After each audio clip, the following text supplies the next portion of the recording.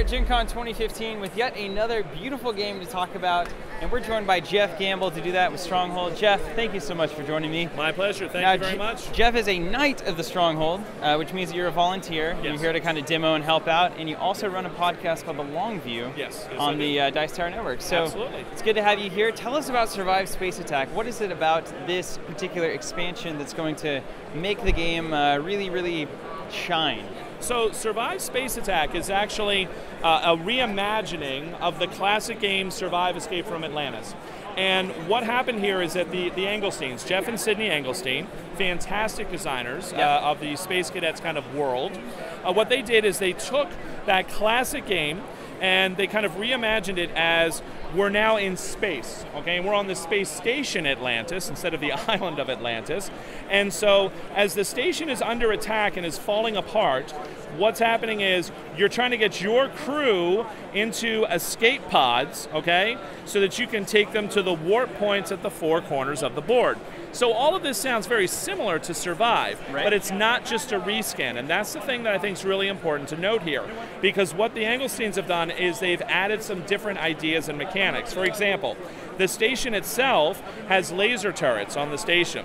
So if you take one of your crewmen and man that laser, you can actually use one of your movement points to directly attack the monsters, okay? Wow, okay. The other thing you can do is you can actually hop in a fighter. So instead of getting into a life uh, a a lifeboat, you are hopping into a fighter, and you're going to be able to fly around the board with your movement points and also directly attack the creatures. So those are two completely new things. Another completely new thing is the idea of evolution tiles. So what can happen is the tiles that you pull from the station as it's you know falling apart under attack one of those tiles might show you that these types of creatures are now going to evolve into this Ah. type of creature, which is much more dangerous. Really amps up the kind of tension in the game. So this is really, really a lot of fun, a total new imagination of it. And the other thing that I really appreciate about it is one of the things I noticed, because I play this game a lot with my family and with my gamer friends, but what I noticed is there's usually a couple of paths to the outer islands and survive, escape from Atlantis, that are a little safer. And so everybody goes there, Yeah, right? right. But they avoid the other ones. Well, what the Engelsteins did is they added just this neat little rule that basically gives you a bonus if you get somebody to all four corners. Aha. So it encourages a little more risk taking, and it also keeps people from kind of doing that co-op thing. Well, well, we'll clean these areas and we'll all use it. Well, now it's a little bit more tense and exciting because people are trying to go for those bonus points. Because as you know, with Survive, a- point here or there can make a huge difference. So that, that's kind of the, the general rundown of what's new with this one. It Sounds really, really exciting. Uh, first of all, I did misspeak. I thought it was an expansion to Survive. I've been told that it was kind of a, you know, added to the game, but this is a brand new, this, is a reimagined reskin. New. It's a reimagined So that's game. important for everyone to know and get right. And then, so on that line, let's say there's people watching, which there's probably a lot of them that ha- are not familiar with Survive, haven't played Survive. Can you give us a basic kind of understanding of what this game is about, the the, the kind of feel of. Survive? Yeah. So in Survive Space Attack, what's going to happen is you're all on this station. The station is coming under attack, and it is literally falling apart around you as the aliens attacking it are blasting off pieces of the station.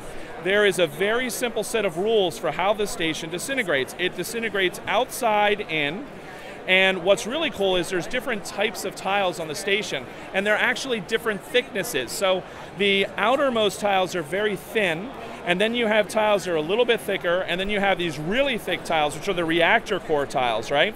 And so because it's a random setup, you're going to have the station falling apart in different ways. If a piece of a station is taken off and you have a piece there, well, now he's floating in space in his spacesuit. And he has to slowly try to make his way, okay? Wow. Or you're running and trying to jump into one of the escape pods, okay? Which can hold three people and they could be of different people, different players, whatever. And then you're trying to get to safety as well. So all of this is happening while the monsters are attacking. So the basic flow of the game is on your turn, you're going to pick a tile to remove. This is a chance for you to be mean Okay. because I can dump your guy and turn him into a floater. Okay? then uh, I might take one of those tiles. The tiles might have something printed that I can use later on another turn. I can play some tiles, right? Then I'm going to have three movement points. And I can move this guy and this ship, one, two, three. Okay. Or I could move him one and then move this guy two. Okay. Any combination you want. So you have a lot of flexibility, a lot of choice. Then you're going to roll this die. This is the, the creature die. Whatever face comes up means you activate and play that creature. And this is another chance to be mean because now you're going to go and you're going to attack somebody else's person, and the different creatures attack in different ways. So uh, this is like the, the, the big bad you know boss monster here, and this one will not only destroy an escape pod, it'll eat everybody in it whereas others will only destroy the pod and leave people floating, and others will just eat the people. Right. And so you have all of this happening on every turn, and since everybody gets a chance to be the bad guy Yeah. and be the hero, nobody really seems to get bent out of shape about it. Like I play with my kids, and if I attack them, they're okay because then they're going to attack dad. Yeah. Yeah. And so everybody has a lot of fun. And who is the ultimate winner of this game? Are you trying to win together? Are you trying to win separate? How's this going? Well, that's a, an, an excellent question. I, I apologize for leaving that out. Oh, no but worries. underneath each of your figures is a number from one, two, three, four, five, six. At the start of the game, you're going to seed your pieces onto the board, okay? Okay. And you have to try to remember what are your high valued crewmen because at the end of the game, you're going to look at and reveal all of the people who survived, okay? Right.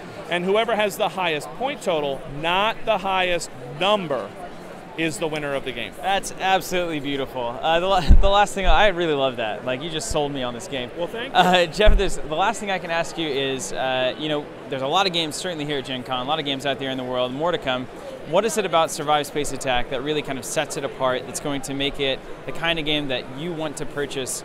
You watching right there, it's like, oh, I'm kind of interested, but what's going to sell me really on this game? How's it going to make it happen? What sells me on this game, and, and the thing that I love about it is how interactive the game is.